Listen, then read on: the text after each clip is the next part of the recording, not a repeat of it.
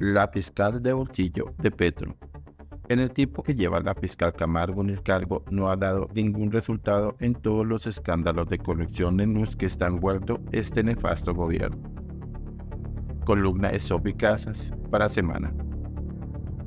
Aterrador el panorama en el que han subido a nuestro país al ver cómo actúa con tanta sevicia y sin vergüenza alguna la fiscal Luz Adriana Camargo al presuntamente utilizar la justicia para perseguir a la libre prensa y a cualquier opositor que no esté alineado con las políticas del gobierno de Gustavo Petro, el mismo que la alternó y ante el que hoy, al parecer, está arraigada. No puedo afirmar que así sea, pero los últimos acontecimientos hablan por sí solos, generando zozobra entre los que ejercemos con tanto respeto y pasión esta hermosa profesión de investigar, informar y expresar por medio de columnas nuestras opiniones respecto a todo lo que sucede alrededor de este oscuro gobierno que está inundado de corrupción.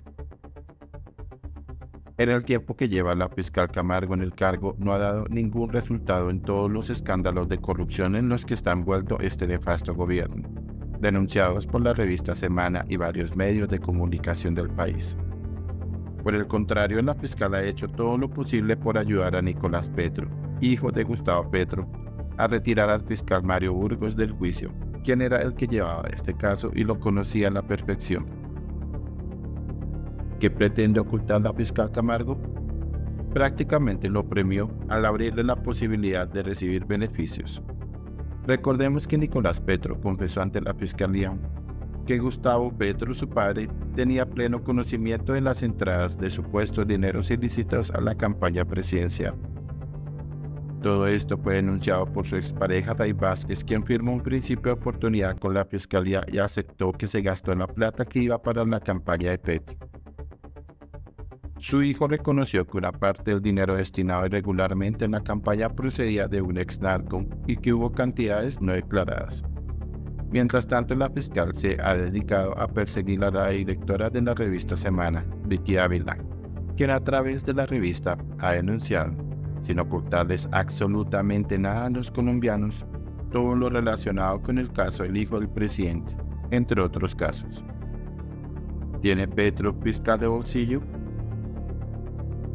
El pasado 27 de octubre, el congresista Blanca David, a través de su cuenta en X, planteó una serie de preguntas a la fiscal Camargo relacionadas con todos los casos en los que ella no ha entregado resultados y que salpican a quien la ternó. Aquí el listado de preguntas que, hasta la fecha, no ha recibido respuesta alguna. Primero, ¿qué pasó con la consejera de regiones Sandra Ortiz? Segundo, ¿por qué abrió la puerta de beneficios a Nicolás Petro? Tercero, ¿qué pasó con el caso Laura Sarabia? Cuarto, ¿qué pasó con las actuaciones de Ricardo Roa, gerente de campaña de Gustavo Petro? Quinto, ¿qué pasó con la campaña al Congreso del Pacto en apoyo de empresas ligadas al narco? Sexto, ¿qué pasó con las menciones directas al ministro de Hacienda por parte del escándalo ULGD? Séptimo, ¿quién lideraba la estructura de compra al Congreso desde presidencia? Octavo, porque el silencio del caso del maltrato a la mujer que señala Benedetti. Noveno, ¿dónde están los asesores de Congreso y Gobierno en la entrega de los mil y tres mil millones a congresistas? Señora fiscal Luz Adriana Camargo, el país los observa. Hay algo aún más grave que los colombianos no están alcanzando a dimensionar y es la persecución a la libre prensa a través de la justicia que se está emprendiendo en este gobierno por todos los hechos que lo envuelven, aparentemente están utilizando la fiscalía para perseguir, amedrentar e intimidar a periodistas y opositores. Estas son tácticas emprendidas por gobiernos de extrema izquierda, como en Cuba, Venezuela y Nicaragua. Fidel Castro aprendió muy bien esta técnica de la Unión Soviética y la están expandiendo por la región para silenciar a todo aquel que los denuncie y saque a la luz todas sus fechorías lo que está haciendo la fiscal Luz Ariana Camargo contra Vicky Dávila, al abrirle una noticia criminal basándose en una denuncia de tipo penal de un fanático petrista que la acusa de espionaje, interceptaciones ilegales, concierto para delinquir y traición a la patria, en la cual no presentó ningún tipo de pruebas, solo fundamentó la denuncia a la primera locución de Petro sobre Pegasus y dijo que si querían pruebas, que se las pidieran al presidente. Es preocupante. Como denunció la directora de Semana, se tomaron solo cuatro días en abrir esta noticia criminal, después de que la revista publicara en su versión impresa la portada que se llamó Nos jodimos, en la que se revelan pruebas inéditas del expediente contra Nicolás Petro. También muestran el celular de su pareja Laura Ojeda, quien es una pieza clave en este caso. ¿Por qué la fiscal no abre noticia criminal a funcionarios, ministros y exministros que están involucrados en el escándalo de la UNGRD? ¿A quién está protegiendo la fiscal y quién está detrás? Esto no es más que la persecución a la libre prensa a través de la justicia. Quieren armarle un caso para poder interceptarla y descubrir quiénes son sus fuentes. Todo esto busca intimidarla y de paso atemorizar a las fuentes para que no revelen nada sobre la corrupción de este gobierno. ¿Quién dio la orden, señora fiscal? Vicky Ávila es conocida por su estilo directo y crítico, pero no es una delincuente. Ha hecho un trabajo impecable en el periodismo en nuestro país por más de 33 años, enfrentando controversias y tensiones con el gobierno de Gustavo Petro particularmente debido a sus investigaciones y comentarios críticos sobre su administración. La directora de Semana ha sido una voz destacada en la denuncia de temas sensibles como la seguridad, la economía y las presuntas irregularidades en el gobierno. Durante la presidencia de Petro, ella ha denunciado presiones y ataques verbales desde sectores afines al gobierno y en redes sociales, donde muchos buscan deslegitimarla.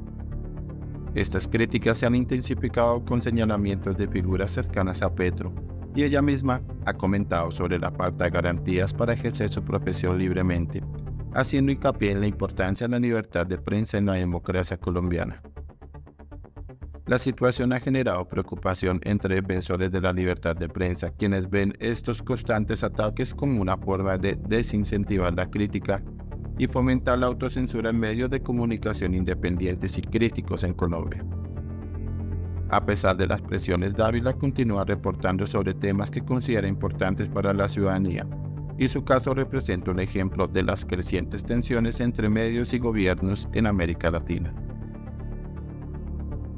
Explico todo este contexto porque es de suma gravedad que quieran aplicar en nuestro país el mismo libreto que emplearon Fidel Castro en Cuba. Hugo Chávez y Nicolás Maduro en Venezuela. En Cuba y Venezuela el sistema judicial se ha convertido en un instrumento para perseguir y silenciar a la prensa independiente y a los periodistas críticos.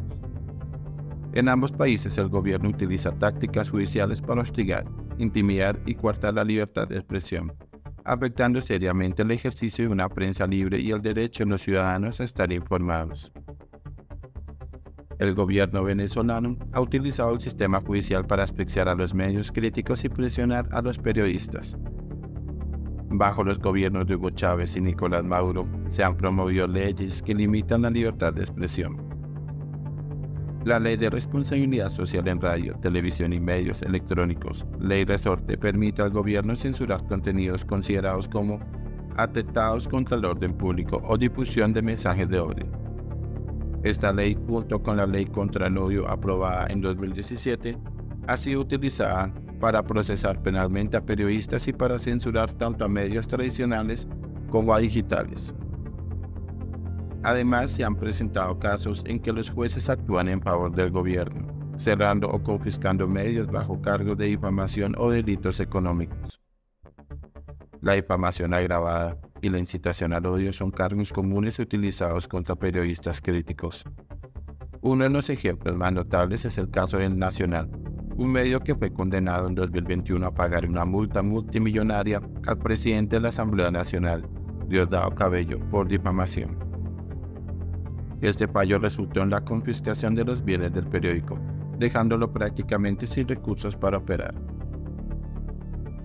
En ambos países, la persecución judicial se utiliza para intimidar y forzar a los periodistas y medios a practicar la autocensura. En lugar de proteger la libertad de prensa, el sistema judicial es empleado como herramienta de represión política, promoviendo un entorno en el que la información está controlada y el acceso a noticias independientes es extremadamente limitado. Esta judicialización de la represión ha provocado un éxodo de periodistas y el cierre de medios independientes en ambos países. Las consecuencias para la sociedad son profundas. El monopolio en la narrativa estatal impide a los ciudadanos tener una visión crítica y completa de la realidad, dificultando la posibilidad de una verdadera participación cívica y debilitando los principios democráticos básicos. Píldora para la memoria.